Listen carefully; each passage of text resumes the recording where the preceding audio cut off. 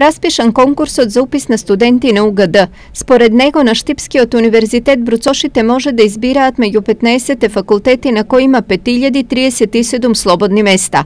Од нив 3078 се редовни студенти во државна квота, 1064 со кофинансирање и 895 места се предвидени за вонредни студенти. Генерално на сите универзитети во Република Македонија бројот е поголем од тоа што се она што се аплицира на универзитетите, меѓутоа се надевам дека ланските бројки од некаде 2000 2200 студенти биле за нас разумна бројка, бидејќи тоа се капацитетите со кои располага универзитетот и со кои може квалитетно да изведува и да продуцира квалитетно знаење.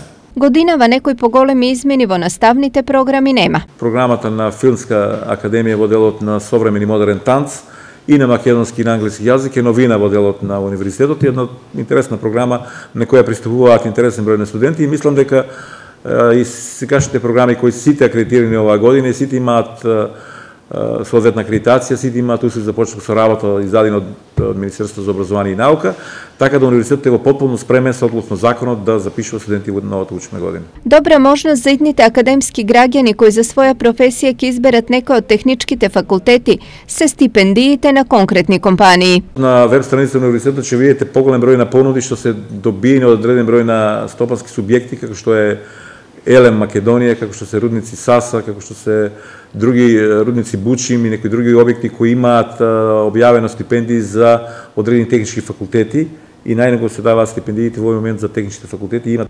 Првиот уписен рок на угада ќе биде на 29, 30 и 31 август и 3 септември, пошто следуваат и вториот и третиот рок. Годинава согласно измените во Законот за високо образование, академската година ќе започне на 1 октомври.